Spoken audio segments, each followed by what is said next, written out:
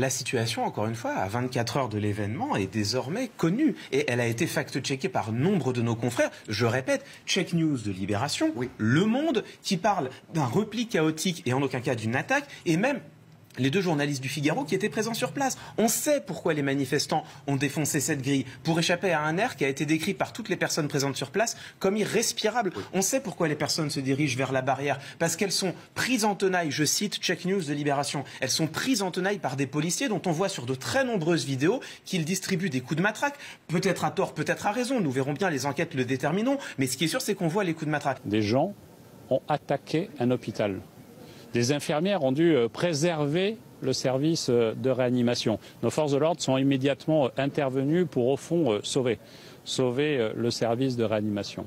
On est au-delà de l'exagération. On est dans la contre-vérité. Encore une fois, les faits sont établis. Christophe Castaner dit on a attaqué un hôpital. C'est faux. Ce sont des personnes qui se sont réfugiées. Rien n'a été attaqué.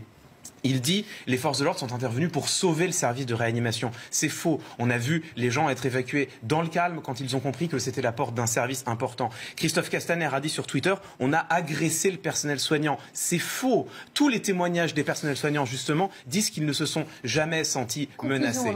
Alors, conclusion, on est de l'ordre de ce qu'il faut bien appeler un mensonge officiel. On parle du, du ministre de l'Intérieur. Sa parole engage l'État. Il est de son devoir de ministre d'être extrêmement prudent. Or là, ce qu'il fait, ça n'est pas qu'il n'est pas prudent, c'est qu'il cherche à jeter le discrédit sur tout un mouvement social en utilisant des faits qui, encore une fois, sont non seulement pas établis, mais aujourd'hui dont, on sait qu'ils sont erronés. Ce gouvernement me semble, moi, avoir un rapport à la vérité quand même assez curieux. Il ne faut pas oublier que jeudi dernier, il y a précisément une semaine, Emmanuel Macron, pour justifier l'allongement de la durée de cotisation, nous expliquait que la France travaille beaucoup moins que ses voisins. Fin de citation. Ça a depuis été amplement vérifié. Tout le monde sait que là aussi, c'est un argument qui est erroné. Donc le gouvernement utilise, Emmanuel Macron, Christophe Castaner, des arguments qui sont des mensonges d'État pour tenter de justifier leur politique et pour tenter de jeter le discrédit sur un mouvement social. ce rapport perverti, ce rapport perverti à la vérité me semble extrêmement grave.